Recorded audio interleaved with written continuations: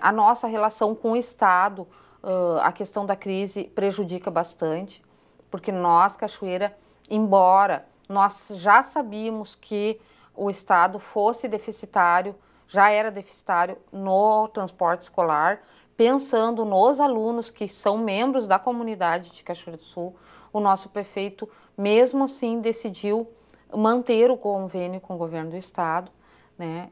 Mas infelizmente não tem como nós mantermos sem o aporte financeiro do recurso de transporte escolar do Estado.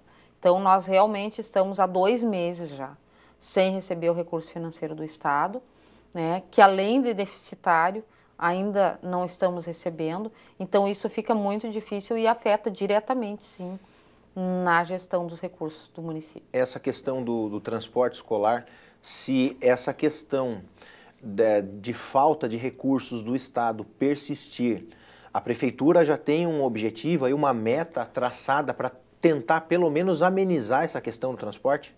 Já passamos hoje o comunicado ao Ministério Público, é, comunicando de que o do município não está recebendo as verbas.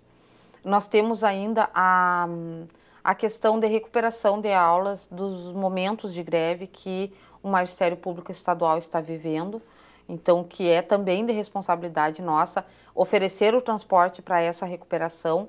Então, isso às vezes acaba onerando, né? Porque o mesmo ônibus que carrega os alunos da escola municipal está indo, depois ele vai ter que ir outras vezes para recuperar as aulas que é de direito dos professores da, estaduais. Então, nós estamos, uh, o prefeito Neiron e nós, através da FAMURS e da a União de Secretários Municipais de Educação, da M-Centro e da Undime, estamos vendo quais as medidas que o município irá tomar. Isso também nos leva a repensar na, na renovação ou não do convênio para o ano de 2016.